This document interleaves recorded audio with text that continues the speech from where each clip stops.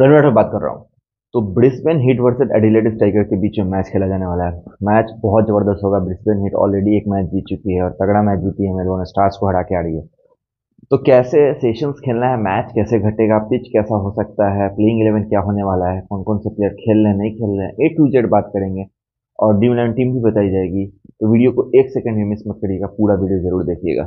तो चलिए, सबसे पहले मोबाइल नंबर करिए seven four two eight five two five six seven ये हमारा व्हाट्सएप नंबर है मैच रिलेटेड कुछ भी चाहिए सेशन मैच प्रिडिक्शन नंबर पर कॉन्टैक्ट कर सकते हो। राठौर प्रिडिक्शन ज़ीरो सेवन दिख रहा होगा सब स्मॉल में। सर्च करके ज्वाइन हो सकते हो टेलीग्राम चैनल है हमारा। लिंक मैं डिस्क्रिप्शन बॉक्स में नीचे दे दूँगा, सबसे बेटर ऑप्शन है जाइए, जाके ज्वाइन करिए। तीन सेशन आज भी दिए, दो से तीन सेशन हर दिन दिया जाता है। फ्री में डेमो के तौर पर मैच आज हमारी सिडनी सिक्सर्स टीम की। टीम भी विन हुई सेशंस भी पास हुए। जाइए ज्वाइन करिए, फ़ायदा उठाइए डेमो का हमारा, ठीक है? एक पैंतालीस कल नौ बजे ये मैच खेला जाने वाला इंडियन स्टैंड टाइम से दोपहर में मैच है। वेदर कैसा है? वेदर काफ़ी प्लीजेंट है, बीस डिग्री टेम्परेचर है chances of rain almost negative है ह्यूमिडिटी थोड़ा हाई है। ब्लू फैक्टर इतना कंसर्निंग होने वाला नहीं है ऑस्ट्रेलिया में जहाँ मैच खेला जाने वाला है। एडिलेड ओवल के होम ग्राउंड पर यह मैच खेला जाएगा। तो सबसे पहले मैं बता दूँ पिच कैसा है?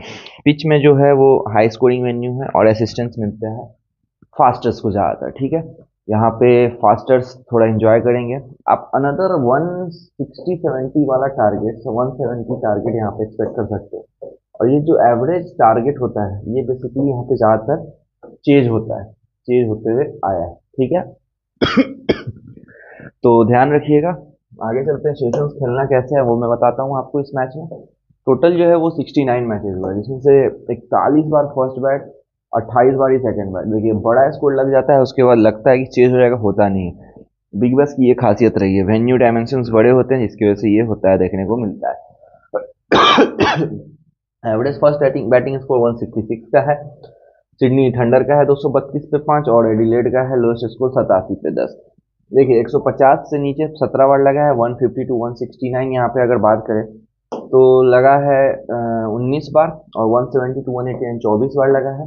और एवव 190 सिर्फ़ नौ बार लगा है। तो ज़्यादा यहाँ पे देखिए, कोई भी बीबीएल के जो मैचेस हैं, वो हाई स्कोरिंग होते नहीं हैं, ज़्यादातर। मतलब मैक्सिमम टाइम्स ये नहीं देखने को मिलेगा कि दो सौ प्लस लग रहा है, एक सौ नब्बे लग रहा है, हर दिन लग रहा है और ये चेज भी हो रहा है। आज का भी मैच देखिए, एक सौ पचहत्तर लगा, चेज नहीं हुआ।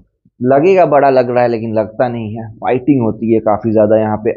अलग है लीग। जिसको आइडिया है एक्सपीरियंस है, वो खेले।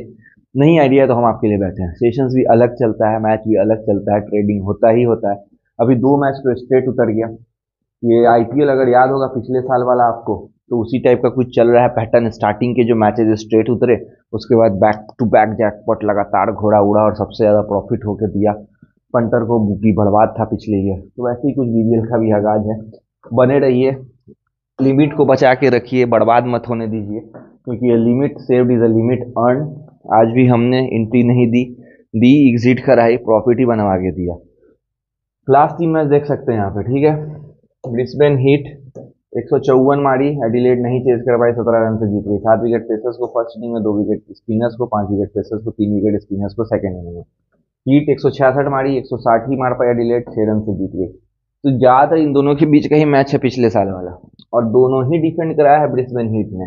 कोई हाई टोटल नहीं, एक सौ चौवन डिफेंड एक सौ छियासठ डिफेंड है। ठीक है छह विकेट पेसर्स को, तीन विकेट स्पिनर्स को, आठ विकेट पेसर्स को, एक विकेट स्पिनर्स को। जैसा मैंने बोला कि पेसर्स यहाँ पे इंजॉय करते हैं बॉलिंग और पेसर्स कर रहे हैं।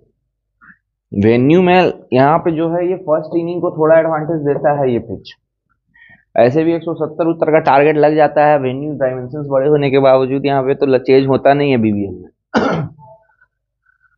देखिए एडिलेड स्ट्राइक एक मारी, फिर यहाँ पे ये भी डिफेंड करा लिया। नब्बे पे ही ऑल आउट कर दी ब्रिस्बेन हिट को।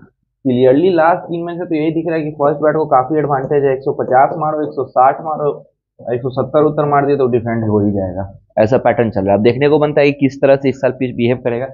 लेकिन पिच ऐसे ही कुछ बिहेव करने वाला है। एक सौ सत्तर का भी टारगेट बहुत अच्छा होने वाला है इस वेन्यू पे। इकहत्तर रन से जीती, दो विकेट पेसर्स को, दो विकेट स्पिनर्स को, एक विकेट पेसर्स को, आठ विकेट स्पिनर्स को, ठीक है? उनतीस विकेट है टोटल लास्ट तीन में पेसर्स और उन्नीस विकेट स्पिनर्स को। ये तो देखने को मिल रहा है यहाँ पे कि पेसर्स स्पिनर्स दोनों को ही मदद मिल रहा है। क्योंकि अगर 19 विकेट भी स्पिनर्स को मिल रहा है तो अच्छा खासा यहाँ पे सपोर्ट है स्पिनर्स के लिए भी। प्लेइंग का बात करते हैं, दोनों टीम की तरफ़ से तो एडिलेड स्ट्राइकर बीआरसी शॉट इसमें आ गए हैं Chris Lynn James Bazley Harry Nielsen Matthew Short captain है इस बार, ठीक है? वेस्ट अगर Brendan Doggett Cameron Boyce Henry Thornton और बेन मैनेंटी ये प्लेइंग इलेवन हो सकता है। इधर देखिए तो Usman Khawaja, Colin Munro, Marnus Labuschagne Sam Billing, Max Bryant, Paul Walter, Michael Neser Xavier Bartlett Spencer Joseph Mitchell Swepson और मैथ्यू कुनामन। तो कोई पॉसिबल चेंजेस होने के चांसेस ज़्यादातर है नहीं, ठीक है? आगे चलिए, डीआरसी शॉट का बात कर लेते हैं। लास्ट पाँच इनिंग, फोर्टी नाइन, पंद्रह पंद्रह, अठारह, पाँच। ज़बरदस्त प्लेयर है, लेकिन पिछला साल इनका कुछ अच्छा गया नहीं। मिस्टर बीबीएल भी है, हाईएस्ट, हमेशा से पेट रहे हैं हरिकेन्स वालों ने छोड़ दिया, अब यहाँ पे ये भटक रहे हैं, ठीक है? एज हो गया है बॉलिंग भी कर लेता है लेकिन थोड़ा स्लो खेलता है बैट्समैन जेम्स बेजली चार छः पंद्रह ज़ीरो सात। एक विकेट ज़ीरो ज़ीरो दो ज़ीरो। ठीक है? अब आगे चलिए। क्रिस लिन का बात करें टी टेन खेल के आ रहे हैं। ज़ीरो ज़ीरो लास्ट दो इनिंग है उसके बाद चार सत्ताईस इकतीस है। तो फॉर्म उनका है नहीं जैसा था पिछले साल। टी टेन में भी कुछ खास परफॉर्म किया नहीं है। हैडिंग लिंसन नौ साठ सत्ताईस छप्पन पंद्रह। इस साल भी ये प्लेयर परफॉर्मिंग किया है। इसके साथ जा सकते हो। आप कैप्टन बना सकते हो। अच्छा प्लेयर भी है हेड टू हेड में। सबसे बेस्ट ऑप्शन अगर कैप्टन के लिए बात करें तो मैथ्यू शॉर्ट रहने वाले। सोलह, बाईस, उन्नीस, तेरह इकतीस चार इनिंग नहीं परफॉर्म किया, लेकिन अभी इंटर इंटरनेशनल का एक्सपीरियंस हो गया। बॉलिंग भी ये बीबीएल में करते हैं और काफ़ी टाइट लाइन बॉलिंग करते हैं। ज़बरदस्त बॉलिंग करते हैं। तो इनको तो ज़रूर पिक करिए कैप्टन में हेड टू हेड में। वैसे अगर बैटिंग किया था, छियालीस, सत्रह ज़ीरो फोर्टी नाइन चार। बेसिकली ये बॉलर है। ज़ीरो तीन तीन। ठीक है? और अच्छा बॉलिंग करते हैं। ओपन करेंगे विकेट निकालेंगे। जेमी उमरतन आठ, इक्यावन, आठ अट्ठाईस, सत्रह। ज़ीरो तीन zero zero zero bowling allrounder है बॉलिंग पे ज़्यादा फोकस रहता है बैटिंग भी ठीक ठाक कर लेता है। ब्रेंडन डॉकेट एक ज़ीरो ज़ीरो एक एक। ठीक है? कैमरन वॉइस का बात करें। तो यहाँ पे ज़ीरो एक एक ज़ीरो ज़ीरो, हिंदी थॉट में ज़ीरो दो दो एक चार, ठीक है? बेन मेनेंटी का बात कर लेते हैं। तो एक चार एक चार एक है, ठीक है? ये बॉलिंग करता है और ठीक ठाक बॉलिंग कर रहा है।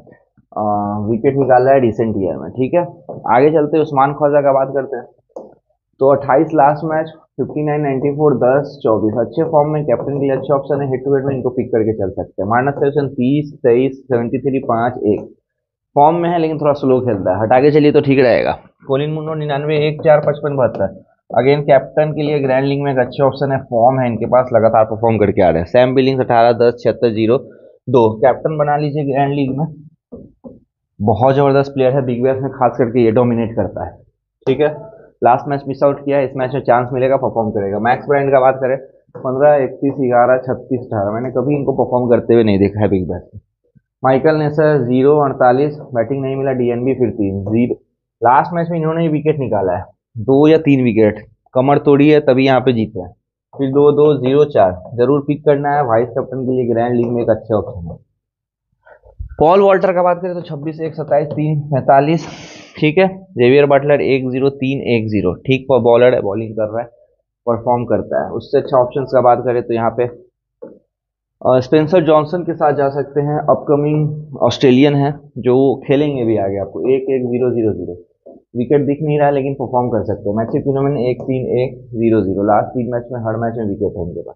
स्वेप्सन तीन, ज़ीरो, एक, दो, ज़ीरो। टाइट लाइन फेंकता है स्पिनर है। और ज़्यादातर रवि बिश्नोई टाइप बॉलर है। विथ नहीं देता है, लेकिन लाइन लेंथ इनके पास अच्छा है और स्पिन उतना होता नहीं है। ज़्यादातर गूगली पर डिपेंड करते हैं। और चलिए इन्हीं प्लेयर्स को लेते जो मैंने अपनी ड्रीम टीम ने आपको दिखा देता हूँ यहाँ पे। देखिए, सबसे पहले तो Sam Billings Usman Khawaja Munro Travis Head अगर खेलते हैं तो वेल गुड रहेगा। माइकल नेसर मैथ्यू शॉट रियासी Short pen Xavier Bartlett वेसेगर Spencer Johnson ठीक है? तो अब कैप्टन के लिए बात करें तो माइकल नेसर को कैप्टन नो डाउट और वाइस कैप्टन डीआरसी शॉट यही बॉलिंग करेगा, या फिर वाइस कैप्टन मैथ्यू शॉट या फिर captain Matthew Short head to head में जा सकते हो along with Colin Munro other options की बात कर लेते हैं। आपको अगर पिक करना है ग्रैंड लीग के लिए। तो ग्रैंड लीग में आपके पास ऑप्शंस हो जाते हैं। टैम बिलिंग्स को कैप्टन और वाइस कैप्टन यहाँ पे उस्मान ख्वाजा, या फिर माइकल नेसर के साथ जा सकते हैं। या फिर मैथ्यू शॉट एक अच्छे ऑप्शन होने वाले जो बहुत बैटर बॉल से कंट्रीब्यूट करके जाएँगे, ठीक है? इस साल राजदीप खान अवेलेबल नहीं है तो एक सेट पैक ज़रूर है डिलेड स्ट्राइकर्स को। मोबाइल नंबर से करिए seven four two eight five two five seven six seven कोई भी डाउट हो, कोई भी पॉसिबल चेंजेस होता है, सब अपडेट दिया जाता है टेलीग्राम चैनल पर नीचे लिंक डिस्क्रिप्शन में क्लिक करके ज्वाइन हो। काम देखो डेमो वहीं आता है। फ़ायदा उठाओ मैच और सेशन दोनों के। चलिए बाय अभी टेक गुड नाइट